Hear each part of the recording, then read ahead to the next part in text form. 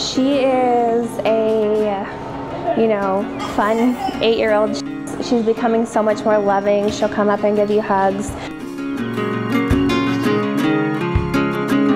We always look for parents who are willing to open their home and their hearts for children.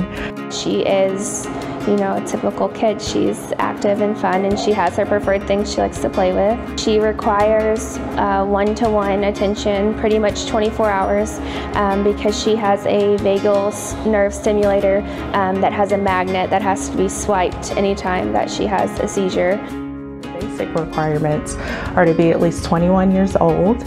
You can be married or single in an apartment or a house, but you have to have a job, so you have to be financially stable, and you have to be physically capable of, of parenting a child.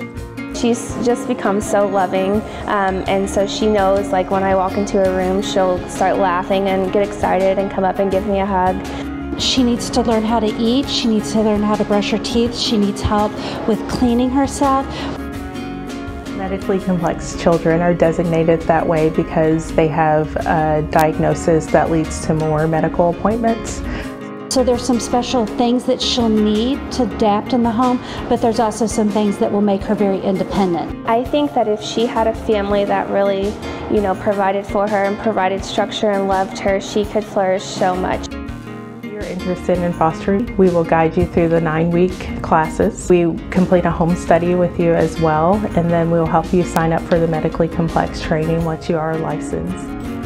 With just a little bit of love, she would do great.